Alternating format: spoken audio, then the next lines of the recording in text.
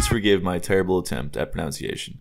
Before we start this video, a large thank you to Janghu, Primo, Dored, Matthew, Wizard Elmo, Juan, and Marcus for their support on Patreon. And a special thank you to Mike Harden Games for their immense support to this channel this month on Patreon. I hope you guys enjoy the video. Hello guys, and today's goal is to make it so we shoot an arrow or a projectile, it sticks into the environment. So right now if we go to the wall and we shoot this arrow, it's probably going to fly off it and just go into oblivion. So, yep, that is exactly what it does. So we want to make it so when we shoot the arrow, it's going to stick into the wall on the angle that we shoot it at. And we also want to fix a couple bugs in this video, particularly with how we uh, aim um, and how we are able to walk faster when we have an arrow notched. So we go into the arrow uh, live model prefab here. Let's open up the ranged projectile damage collider script. Let's start with making a function, or sorry, an if statement. We're going to say if uh, has already penetrated a surface is not true, and our penetrated projectile equals null, then we want to do some logic. And the reason we're checking for both of these is because we don't want to uh, accidentally generate two um, projectile models that are stuck into a wall. We want one for every arrow that is shot. So let's start by making a variable of type vector3. We're going to call that contact point, and we're going to try to figure out uh, where on the collider this hits. And we're going to do that by saying this contact point is equal to collision, referencing the collider that we strike, dot game object dot get component dot col- or get component collider, and then we're going to open up these brackets and say dot closest point on bounds. And all that does, to my knowledge, is it gives us a place where this collider is striking that collider on its uh, its collision box. And we're going to pass this transform dot position. Now, right below that, or above that rather, sorry, first, we should say uh, has already penetrated a surface is equal to true, and then below that, we're going to make a reference to our game object, um, the penetrated arrow model.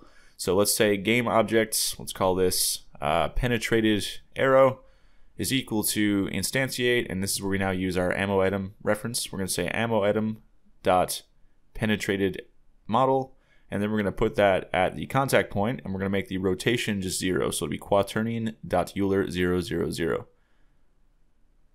Like so. Okay, that looks good. And now right below that, we want to actually make sure we're filling in the variable of penetrated projectile. So we're going to say penetrated projectile is equal to the penetrated arrow we just instantiated. Okay, that looks good. Now let's actually make the rotation correct. So we're going to say penetrated arrow dot transform dot parent is equal to the collision dot transform. This just makes it so it's actually parented on the object, so the object is moving around when you strike it, the arrow will move with it. And then we're going to say penetrated arrow dot transform dot rotation is equal to quaternion dot look rotation, and we're just going to say game object dot transform dot forward. And that should be fine. Now let's do one more thing before we leave here though. We want to actually destroy the live model after we've struck it into something. Uh, we don't want it to be just floating around with the damage collider active. So what we're going to do is we're going to come down here and we'll simply say um, destroy and we'll pass the transform dot root dot game object.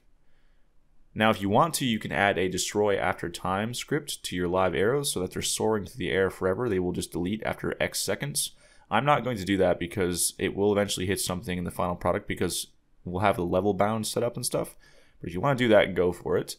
Um, now if we go into the game and test this, it should be fine in theory. So I'm just going to go and draw back the arrow now and aim at this wall, and it should stick in. And yes, it does. Excellent. That looks really good. All right, cool. So we do have one small problem. I'm going to show you, not the problem, but just testing this. Okay, it's fine. If we stick it into our character over here, um, let me explain this before I get closer. Our character has one damage collider, which is a capsule collider resting on the main game object. But this capsule collider is not parented under any of the limbs of the character. Uh, the problem here lies in two ways. One, we don't have accurate damage detection for arrows and projectiles because they can whiz by the smaller parts and not hit them. And two, this happens. You can see, like right now, that's that struck the capsule collider, which is fine. But notice how it doesn't follow the player when he animates. It just sits there. That's not good. And I'll show you in scene view why this happens. Um, so if we click on the enemy here now, or the enemies rather, if I find the one that this is double I think it's this one here. Yeah, you can see so it's it's in the collider, but the collider does not follow the model, so it stays upright. Um, now the the remedy for this is limb-based damage detection as opposed to one collider on the main character. This is my project, Nephilim. As you can see, if I draw back the bow here now and I shoot this gentleman in the chest, If I go over through him, you can see as he's moving in his idle animation, the arrow actually moves with him. Uh, this is because I have damage colliders on each of the limbs.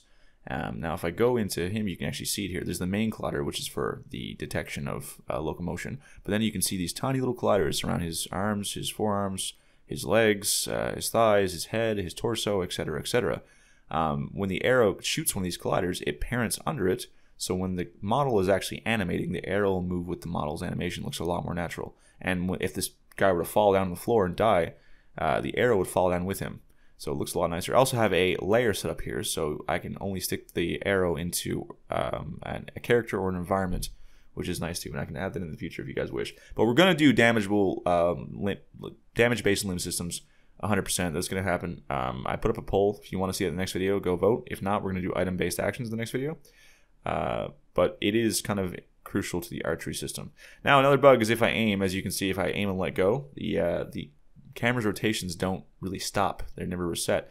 And also, if I draw an arrow and I hold the sideways movement, I'm able to kind of like moonwalk really fast. We don't want that either. So what we're going to do um, is we're just going to basically fix the camera bug first and then the movement bug. So here, uh, if I'm holding the LB, input, I let go of it rather. If we're aiming, we're going to do some logic. So if I hold LB and let go and we are aiming, we want to reset our camera's rotations because we're no longer aiming reset the aim camera's rotation specifically, my bad. So let's make a public function on the camera handler script. We're going to call this reset uh, aim cam rotations. And this is very simple one line of code. The only thing we're doing differently in the aim camera is removing our actual camera object. So what we're going to do, or rotating it rather, is we're going to say camera transform, camera transform being the transform of our camera object, uh, dot rotation is equal to quaternion Euler 0, 0, 0. And that's it. It should be fine. Now, let's go call that functionality on the input handler, and then we should be good to go. So right here, I'm just going to say camera handler dot reset aim camera rotations, and we're fine. Actually, no, we're not. I just thought about that. It has to be local rotation, uh, not rotation. So come back here. Make sure you change this to local rotation. Otherwise, it'll change the rotation of the game object it's housed uh, under. Now, if I go back in the game and I aim, as you can see, aiming in and out, it resets the camera perfectly. Everything is where it should be. That looks good. So the next problem is the moonwalking. That is a very simple fix too. It's just also a, um, a single function or uh, a couple lines of code. Right now we're able to walk really fast in one direction. I made the mistake here of dividing by two, thinking that it would uh, solve the movement for up and down. There's a simpler solution. We can come here after we have calculated the move amount. We can simply say right under it uh, if our move amount is greater than 0.5f, we can simply say the move amount is equal to 0.5f. And this is under the if statement if the player manager is holding an arrow. So this will only be true if we have an arrow notched, which is what we desire. Now, if I go back into the game and I hit the play button right now, I'm just going to make sure we've not botched anything. We can run around find. So yeah, we're able to run around and that's a okay. Now, if I notch the arrow, I'm only able to walk, and that is perfect. So that looks great. If you guys are on your holiday break, I hope you are enjoying your holidays. Have a great holidays. And if you made it this far, be sure to drop a like and leave a comment. It genuinely helps out my series so much. It does something to the algorithm so people who would not normally see this video get a chance to see it.